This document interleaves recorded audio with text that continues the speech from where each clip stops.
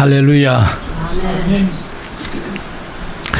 누군가가 이 세상을 예, 고해와 같다. 그런 말씀을 했죠. 고해. 고난의 바다, 고통의 바다, 고생의 바다. 아, 고해라고 했습니다. 사실 이 세상을 사람, 살아가는 사람 치고 고난을 단 한 번도 당하지 않은 사람이 과연 얼마나 될까요?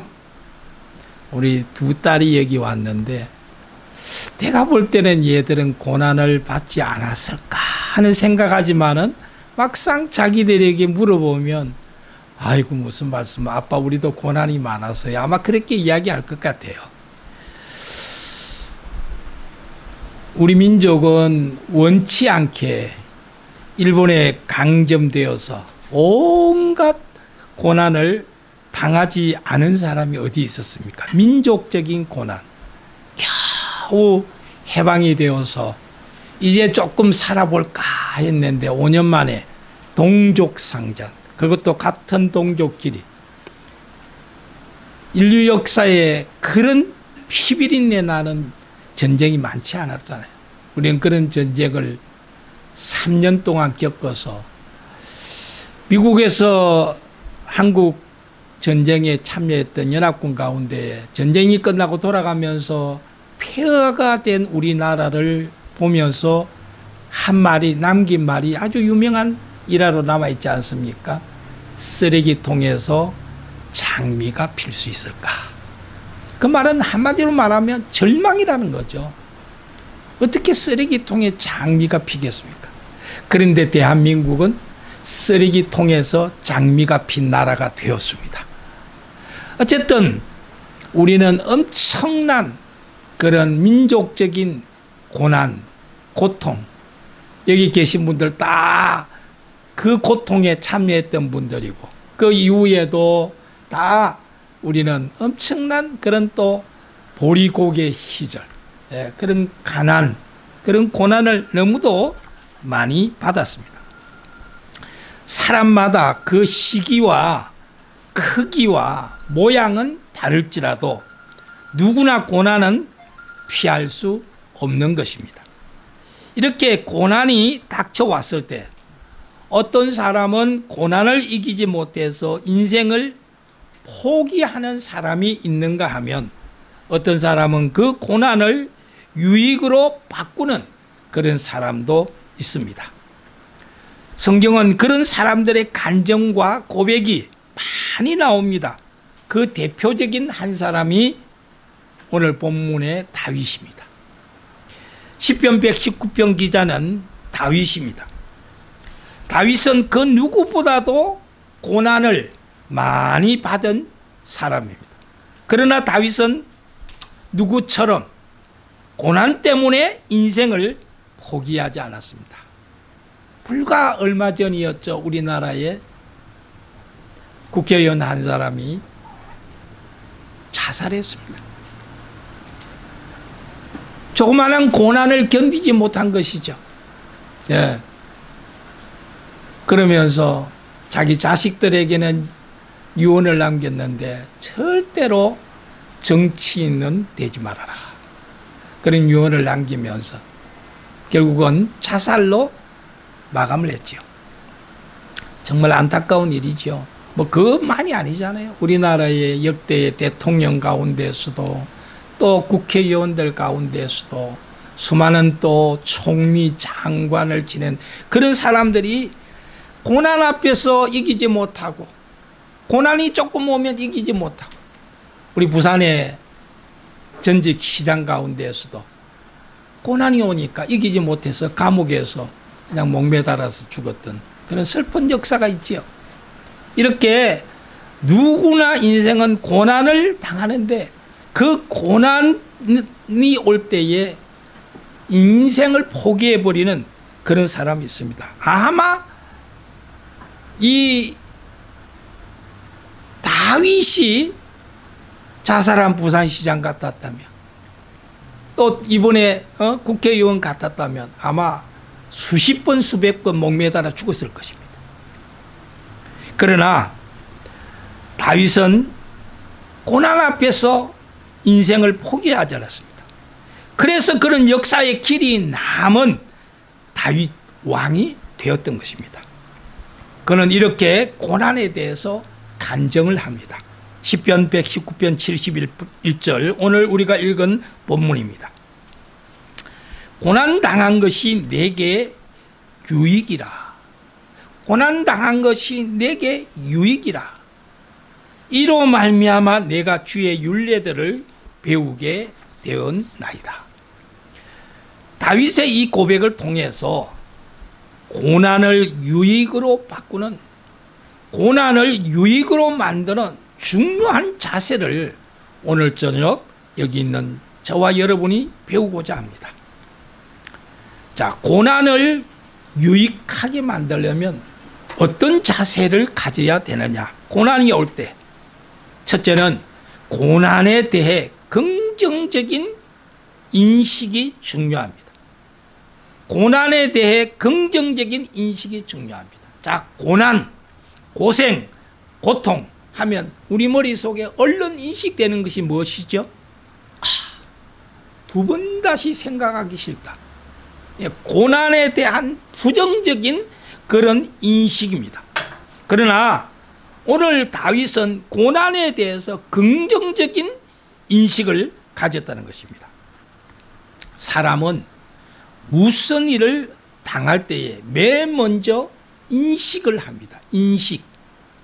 제가 여기 와서 이 인터넷 복음 방송을 처음 보면서 먼저 어떻게 보면서 인식하는 거죠. 머릿속으로 인식을 하는 것이죠. 고난도 마찬가지입니다. 사람이 고난을 당할 때 고난에 대한 인식, 내가 이 고난을 어떻게 생각하느냐, 그 인식에 따라서 위기가 기회가 될 수도 있고, 위기가 포기가 될 수도 있다는 것입니다. 그래서 우리는 고난을 이 세상에 살면서 누구나 다 당하게 되는데 고난을 생각할 때 첫째 고난은 복잡하게 생각하지 말아야 돼요. 고난이 올 때 고난을 복잡하게 생각하지 말고 단순화시키는 것이 중요합니다. 고난을 단순화시키고 여러분 이 세상에 풀 수 없는 문제가 있겠습니까? 이 세상에 풀 수 없는 문제는 없습니다. 대학을 들어가려면 수능 시험을 쳐야 돼요. 수많은 과목들, 그 과목들마다 문제가 수십 문제, 많게는 수백 문제가 나오는데 그 여러분 문제를 출제하는 출제자들이 답이 없는 문제를 내겠습니까? 만일에 내었다면 그 사람은 당장 신문에 크게 보도되고 감옥 가야 돼요. 절대로 답이 없는 문제를 출제할 수가 없습니다. 여러분 이 세상에 풀 수 없는 문제는 없습니다. 답이 없는 문제가 없습니다. 문제 앞에서 당황하지 말고 또 그 문제를 복잡하게 생각하지도 말고 믿음으로 문제를 바라보는 그런 긍정적 인식이 대단히 중요합니다. 그래서 야고보서 1장 2절로 3절에서 야고보는 이런 말을 합니다. 내 형제들아 너희가 여러 가지 시험을 당하거든. 시험이 고난이고 고통이고 고생인데 그런 여러 가지 시험을 당하거든 어떻게 해야 되느냐? 첫째는 온전히 기쁘게 여겨라. 얼마나 여러분 긍정적입니까? 기뻐하라는 거예요. 여러분 이 세상에서 고난 앞에 기뻐할 사람이 있겠습니까? 전직 부산시장이 그런 어려움을 당할 때에 만일에 기뻐해 보십시오. 죽겠습니까? 국회의원이 죽겠습니까? 첫째는 고난이 오면 먼저 기뻐하라는 거예요. 너무도 너무도 긍정적인 인식이죠. 온전히 기쁘게 여기라. 그것도 온전히 기쁘게 여기라.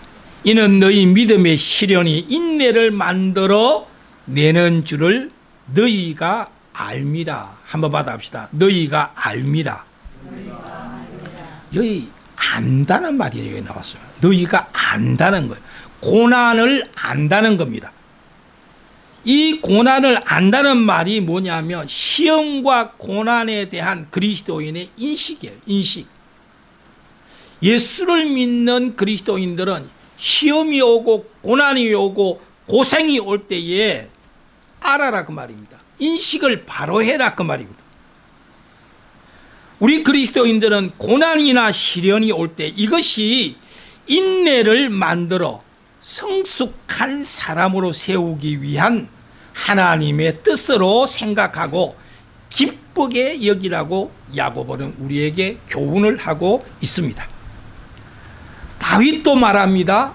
고난 당하는 것은 내게 유익이라 긍정적 인식을 하고 있습니다.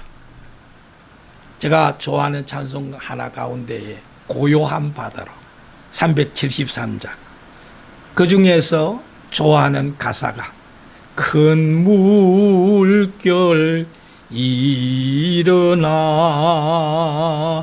나 쉬지 못하나 이 풍랑으로 인하여 더 빨리 갑니다. 큰 집채만한 물결이 일어납니다. 그래서 내가 쉴 수가 없어요.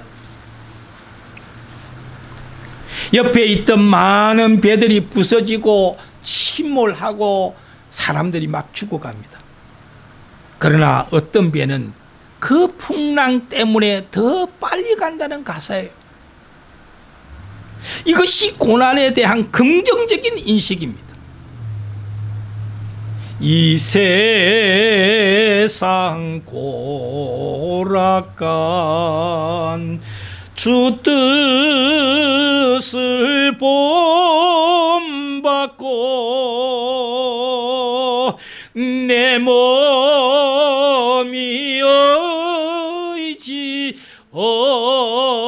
없을 때 큰 믿음 주소서. 큰 믿음 주소서.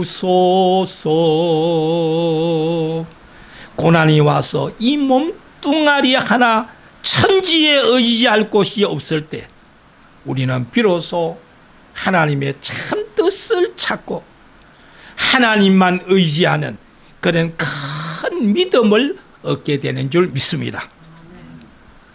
여러분 하나님은 어떤 사람을 좋아하세요? 하나님은 어떤 사람을 사랑하세요? 하나님은 성경에 보니까 믿음을 가진 자 그것도 큰 믿음을 가진 자를 하나님은 좋아하시고 사랑하시고 그런 사람을 하나님은 찾으시더라고요. 할렐루야. 그러면 큰 믿음은 어떻게 가지느냐? 어디서 오느냐? 큰 믿음. 여러분 신학교 졸업을 할 때 성적의 가장 최우수자 수석한 사람 그런 사람에게 하나님께서 큰 믿음을 주실까요? 그런 사람에게 아니에요. 신학교 수석이라고 해서 큰 믿음 아니에요. 성적은 그 사람이 좋아도 여러분 그 사람이 큰 믿음 가진 목회자는 안 되더라고요. 어떤 신학교를 나와야 되느냐? 미디안 신학교를 나와야 돼요. 미디안 신학교. 어느 신학교요?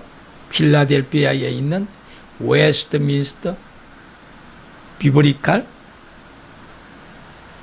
요 와서 보니까 아 전에 우리 신학교 다닐 때 웨스트민스터 하면 와 그랬는데 제가 이 웨스트민스터를 너무 가까이 지금 보고 있습니다.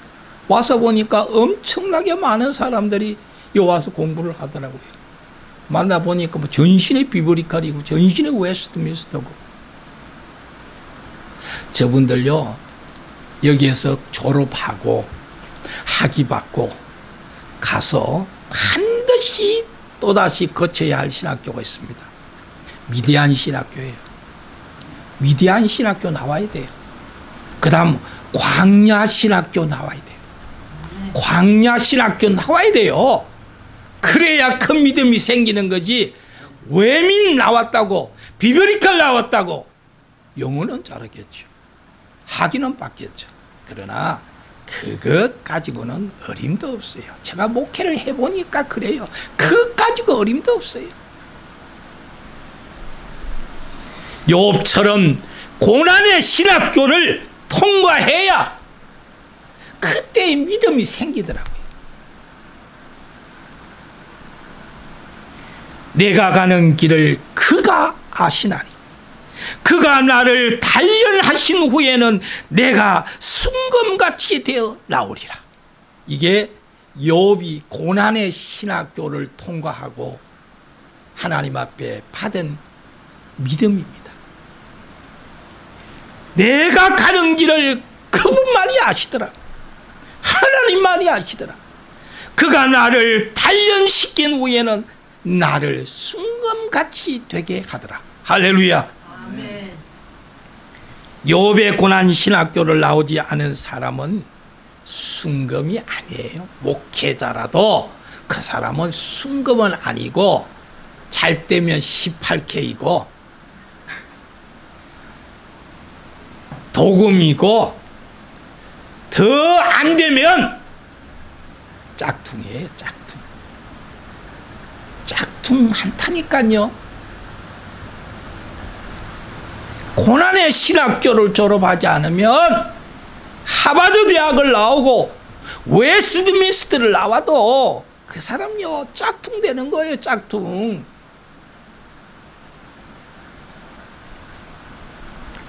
고난은 성도에게 주시는 하나님의 은혜의 통로이고 축복의 통로임을 믿으시기를 바랍니다.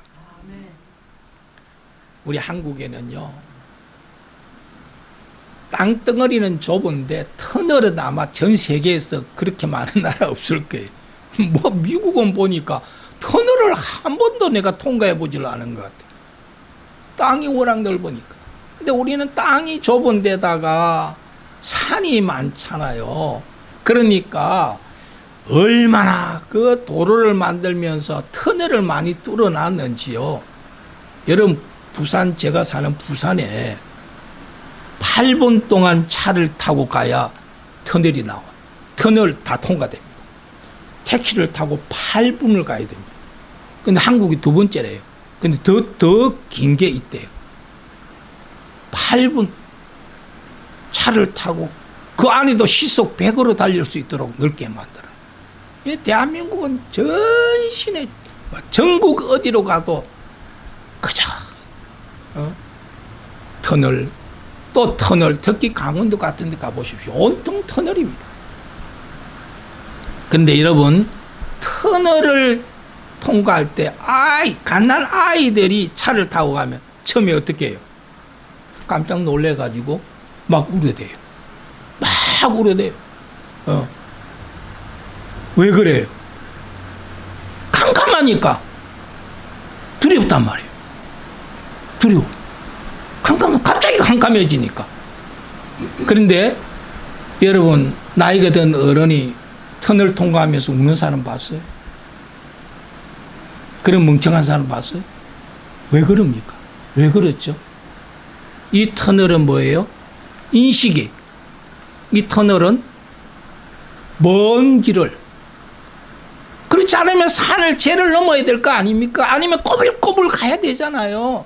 그런데 빨리 가려고 그걸 통로로 만드는 거예요. 지름길이에요. 그렇지 않습니까? 그렇기 때문에 이걸 우리는 인식, 알고 있단 말이에요. 알고 있으니까 어른들은 오히려 터널, 아이고, 이 터널을 놔줘서 얼마나 고마워요. 예? 아까 제가 말한 8분짜리 그, 이 터널이요, 금정산입니다, 부산에. 그 금령산이 얼마나 큰 높은 산입니까? 그것 없으면 얼마만큼 길을 돌아가야 돼요? 어른들은 그걸 알기 때문에 터널을 가면서 누가 우는 사람 없어요. 불평하는 사람 없어요. 고맙죠. 감사하죠. 아이들은 그걸 모르기 때문에 뭐예요? 겁을 내고 두려워하고 우는 거예요. 사랑하는 여러분, 고난을 당할 때에 나는 그 길을 몰라서 이 어린 아이가 터널에서 벌벌 떨고 두려워하고 우는 것 울지만 하나님은 그 가는 길을 다 아신다고 했습니다. 내가 가는 길을 오직 그가 아시나니 그분은 다 아는 거예요. 그러므로 우리 성도들은 고난을 당할 때에 이런 성경적인 고난에 대한 성경적인 인식, 긍정적인 인식, 이걸 가져야 돼요. 이게 정말 중요합니다. 고난을 두려워하지 말아라. 고난 두려워하니까, 아이고, 내가 이 고난 어떻게 통과해? 나 어려워. 차라리 목매달아 죽겠다. 약 먹고 죽는 게 낫지. 그러잖아요. 아니에요. 고난. 고난은 하나님이 축복으로, 은총으로 가는 길에 지름길인 줄 여러분 믿으시길 바랍니다. 이 풍랑 인하여 더 빨리 가는 거예요. 더 빨리. 여러분, 풍랑이 일어날 때에 정신만 차리고 다 돈만 잘 잡으면요. 더 빨리 가는 거예요. 그러나 그때 정신 못 차리고 자왕 우왕 두려워서 어찌할까 하다가는 그대로 침몰당하는 거예요. 예, 고난에 대한 인식 이게 대단히 중요하고요. 두 번째는 고난을 이기기 위해서는 의지적 결단과 강한 인내가 필요합니다. 의지적 결단 먼저 의지적으로 결단을 해야 돼요. 이사야 26장 3절에 보면 주께서 심지가 견고한 자를 평강하고 평강하도록 지키시리니 이는 그가 주를 신뢰함이니이다. 받아봅시다. 주께서 심지가 견고한 자를 뭐가 견고하다고요? 심지가 뭡니까? 심지가 견고하다. 심지가 뭐예요? 예, 마음이죠. 그렇죠. 마음입니다. 심지가 마음 중에서 앞에 인식, 인식한 것을 그 다음 뭡니까? 의지로 받아야 돼. 결단이에요. 그렇죠? 그러니까 하나님은 심지가 견고한 자, 의지가 견고한 자, 그런 자를 하나님은 평강하고 평강하도록 심지가 견고하지 않으면요 고난 앞에서 막 흔들리는 거죠. 어찌할 바를 몰라요. 어찌할 바를 그러다가 죽는 거예요. 그러다가 배에 여러분 배가 어 그 어, 세월로가 그, 그 침몰할 때에 기침은 바로 내린 거예요. 애들 보고 움직이지 말라 했잖아요. 그 맞는 말이에요. 그것만 맞는 말이에요. 그것만 다른 것은 다 틀렸어요. 근데 배는요, 막 풍랑이 일어날 때에 움직이면 절대로 안 해요. 딱 그 자리에 있, 있어야지 사람들이 좌왕우왕해서 흔들리면 우리 한 사람 몸무게가 얼마입니까? 그게 몇십 명, 몇백 명이 되면 뒤집어집니다. 움직이면 되는. 딱 그대로 앉아요. 이게 제일 중요한 거예요. 심지가 견고한. 고난이 올 때에 심지가 견고해야 돼요. 그런 사람은 평강하고 평강하도록 그랬습니다. 그러면 그 심지가 견고하려면 어떻게 해야 되느냐? 여기 보니까 이는 이는 왜 심지가 견고하느냐? 그가 주를 신뢰함이니이다. 어떤 사람이 심지가 견고하다고요? 믿음이 좋은 사람. 아, 괜찮아, 괜찮아. 하나님을 믿어. 큰일 났어요. 교회에서 큰일 났다는 사람 참 많죠. 조금만 뭐 있으면 목사님 큰일 났어요. 장로님 큰일 났어요. 뭐가 그렇게 큰일이고 보면 아무것도 아니야. 아무것도 아니야. 흔들리면 안 되는. 흔들리면. 심지가 견고해야 돼. 의지입니다. 믿음의 의지. 욥기 23장 11절로 12절에 내 발이 그의 걸음을 바로 따랐으며 내가 그의 길을 지켜 치우치지 아니하였고 내가 그의 입술의 명령을 어기지 아니하고 정한 음식보다 그의 입의 말씀을 귀히 여겼도다. 욥은 고난 받을 때에 흔들리지 않아요. 심지가 견고해서 내 발이 그의 걸음을 똑바로 따랐다고 했어요. 어떻습니까? 고난 좀 오면 성도들이 어때요? 비틀거려요, 비틀거려. 막 난리예요, 난리. 아이고, 하나님 뭐 믿었더니 별점 없네. 11조 생활 내가 꼬박꼬박 잘했는데 별점 없네. 별별 마음이 흔들려요. 이런 사람은 절대로 평강이 없습니다. 그 사람은 고난에 반드시 망하는 거예요. 쓰러지는 거예요. 넘어지는 거예요. 욥은 그렇지 않았습니다. 고난당할 때에도 내 발이 그의 걸음을 똑바로 따랐고 내가 그의 길을 지켜 치우치지 아니했단 말이에요. 좌로나 우로나 치우치지 아니해. 치우치면 고난합니다. 모든 것은 외부 환경의 영향을 받을 수밖에 없지만 나의 믿음의 의지는 내 마음 안에 있기 때문에 흔들리지 않고 지킬 수 있는 거예요. 내가 지키면 되는 거예요. 누가 뭐라 해도 환경이 어떠하든 간에 내가 내 마음에 딱 의지를 가지고 있으면 이건 누가 흔들 거예요? 트럼프가 흔들겠습니까? 우리 문재인 대통령이 흔들겠어요? 흔들릴 수가 없어요. 이 심지가 견고한 자는 어떠한 고난이 와도 그 사람은 그 고난을 유익으로 바꾸는 사람이 되는 줄 믿습니다. 의지적 결단 그리고 인내하는 거예요. 인내. 인내하는 겁니다. 제가 노예에서 원로가 되고 후배 목사들이 와서 아이고 목사님 제가 목회를 해보니 10년 한 교회를 목회하신 분들 보면 너무 존경스럽고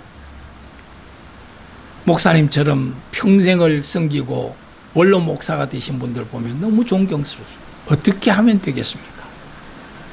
제가 한 말이 있습니다. 하나님의 은혜로 되는 거야. 하나님의 은혜로 되는 거야. 사실 맞아요. 지나놓고 보니 모든 게 다 은혜였고요. 그런데 또 후배들은 그거 아니잖아요. 아유, 목사님, 그런 거 말고요. 좀 가르쳐 줘요. 노하우를 가르쳐 주라는 거지. 노하우. 그래? 꼭 가르쳐 줄까?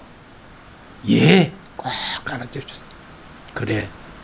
내가 목회를 해보니, 첫째는 은혜요. 둘째는 내가 할 일은 인내하는 거야. 됐어? 인내해. 참아. 교회 안에 수많은 고난이 와도 흔들리지 마. 참아. 인내. 제가 그걸 가르쳐 주었어요. 세 번째는 고난을 유익으로 바꾸려면 믿음으로 고난과 싸우는 행동도 나와야 돼요. 바른 인식을 가지고 둘째는 오래 참고 결단하고 인내하고 셋째는 때로는 싸워야 싸울 때 어떻게 싸워야 되느냐? 혈기로 싸우지 마라 그만.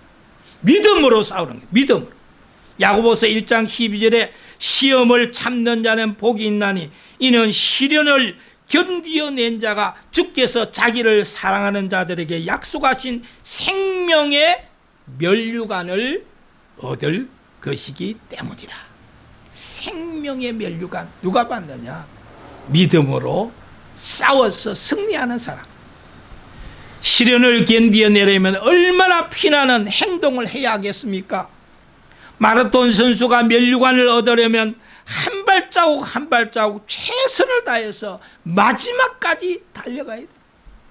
지난번에 육상 선수, 마라톤 선수, 여자 선수인데요.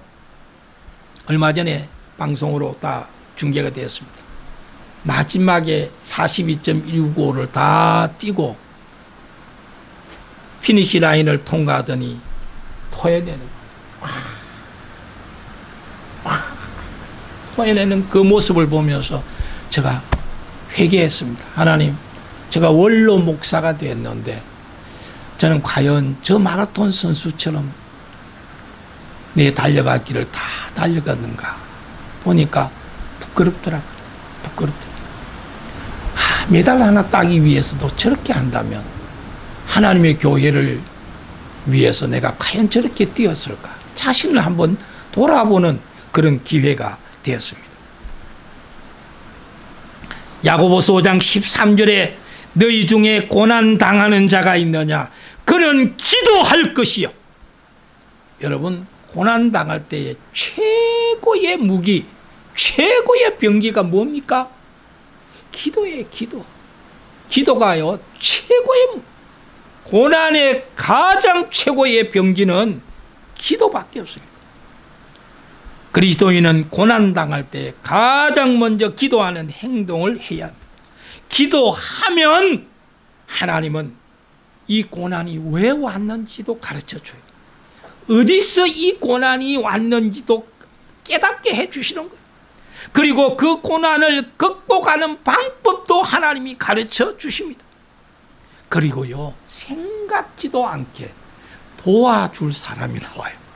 도와줄 사람이 나와. 아니, 갑자기 저분이 왜 왔어? 날 도우러 생각지도 않았는데. 저는 5년간 이민 목회를 했습니다. 브라질의 상파울루에 있는 한인교회. 예, 부목사로는 서울의 충영교회에서 부목사로 섬기다가 제일 처음 간 곳이 상파울루에 있는 한인교회였어요. 그래서 제가 한인교회를 어, 싹 잘은 몰라도 다 압니다. 한인교회가 어떤 교회인지를 생리가 어떤 것도 다 제가 알아요. 예, 힘들죠. 음.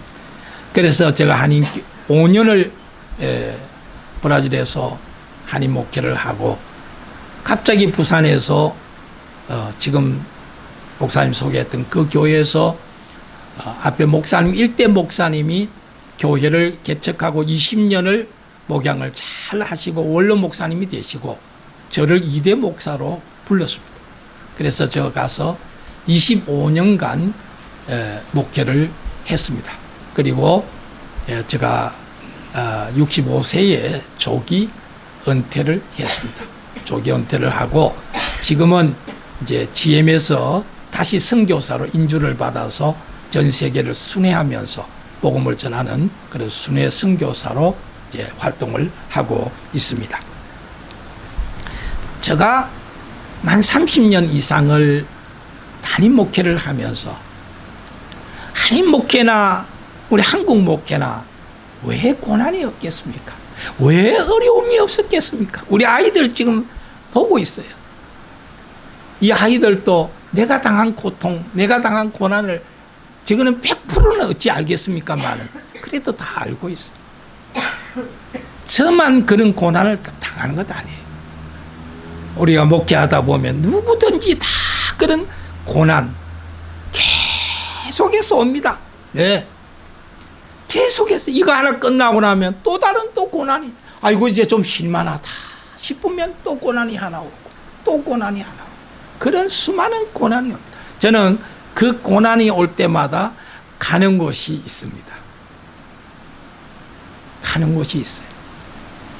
보따리 싸가지고 성경 찬송 들고 어디로 가느냐? 우리 교회 강단으로 올라가 버려요. 여보, 미안해요. 나 거기 강단에 가서 이제 자니까, 어, 어, 그렇게 하라. 그래 놓고 강단에 올라가요. 강단에서 그냥 거기에서 며칠이 되든 몇 달이 되든 거기에서 하나님 앞에 기도합니다. 그러면서 아까 불렀던 이 찬송 많이 거기에서 불렸습니다. 이 풍랑 인하여 더 빨리 갑니다. 하나님 이 풍랑이 우리 교회에 더 붕되게 하시고 더 빨리 가도록 해달라고 하, 기도를 많이 했습니다. 그러면 어느 날 장로님들이 옵니다. 목사님 힘드시죠? 아니요 아니요 나는 세상에 이런 좋은 궁전이 어디 있습니까? 이 세상에 이런 궁전이 어디 있어요? 이불 펴고 강단에서 거기서 뭐 잠자고 얼마나 좋아요. 좋습니다. 이제 목사님 내려오셔도 돼요. 교회 문제 다 해결됐습니다. 아, 그래요, 장로님? 그럼 내려갈까요? 아니, 내려오세요. 그리고 내려가면 문제는 깨끗하게 해결되고. 그러고 난 뒤에 참 놀라운 경험은요, 간증이에요, 저는. 풍랑이 있고 난 뒤에 내가 기도하고 그 문제가 딱 지나고 나면요. 교회가 부흥이 되는데 목사님 아까 우리 교회 부흥의 이야기를 했습니다. 그래서 제가 지금 말씀드리는 거예요. 갑작스럽게 수백 명이 몰려들어요. 하나님이 부어주시는 거예요. 그 고난 딱 끝 하고 나면요. 교회가 튼튼히 세워지는 것을 영적으로 알잖아요. 느끼잖아요. 교회가 견고하게 되고요. 저 목회가 뿌리를 팍 박는 것 같고 더 깊이 그러면서 교회 숫자적으로 부흥이 막 되는 거예요. 막 몰려오는 거예요. 하나님. 그렇게 교회 안에 놀라운 부흥을 주시더라고요. 은퇴를 하면서 아이고 하나님 이제 다 됐네요. 끝이네요. 이제 내일 모레 은퇴니까 다 됐네요. 그랬는데요. 갑자기 뜻하지 않은 교회 안에 바람이 부는데 정신이 없어요. 정신이 없어요. 하나님, 내 지금 내일 모레 은퇴할 건데 왜 이런 일이 일어납니까? 내일 모레 은퇴인데요, 제가. 6월, 6월 달에 제가 은퇴하려고 했는데 4월 달 중직자 투표하고 나니까 교회 안에 걷잡을 수 없는 문제가 일어나요. 막 그냥, 아이고, 내가 지금까지 목회한 중에 최고로 큰 바람이에요. 얘라 할 수 없다. 어, 디로 갔겠어요 내가. 또 보따리 사들고. 올라갈 때는 하나님 이게 뭡니까? 내일 모레 내 꼬마 편안하게 은퇴하게 하면 안 돼요. 이 마지막 또 이런 거 줘야 돼. 갔어요. 가서 또 강단에서 계속 기도하는데 또 장로님 아무리 어느 날 목사님 해결됐습니다. 내려오세요. 그래서 아주 은혜롭게 은퇴하면서도 하나님이 그거로 인해 가지고 앞에 바람 다 일으키고 난 뒤에는 제 문, 이 은퇴 문제는 단 한 건도 없었어. 순탄하게. 요즘 뭐 원로 목사 되는 것도 쉽지가 않아요, 한국에. 그런데 우리 교인들 단 한 사람도 아무 말 안 없이 장로님 한 분이 가서 우리 김 목사님 여기 와서 25년 동안 고생하시고 수고하시고 교회만큼 부흥시켰는데 여러분 우리가 목사님 다 기립해서 박수 크게 한번 치고 원로 목사님으로 받는 것을 동의합니다 하니까 온 교회가 제청합니다. 벌떡 일나고 박수 치고 너무너무 감사합니다 이 풍랑 인연하여서 더 빨리 갑니다 하나님께서 평탄하게 해주시고 마지막 고난이 오히려 더 교회를 평화롭게 하고 저로 하여금 더 편안하게 은퇴하는 것을 제가 마지막까지 하나님 앞에 간증으로 보았습니다. 제가 말씀을 정리합니다. 기도는 우리의 안시 빛으로 인도하리. 우리 다 같이. 앞길 캄캄할 때 기도 잊지 마세요. 앞길 캄캄할 때 우리가 할 일은 기도 잊지 마시고 기도하면 돼요 다윗은 그 누구보다 고난을 많이 당한 사람이었습니다.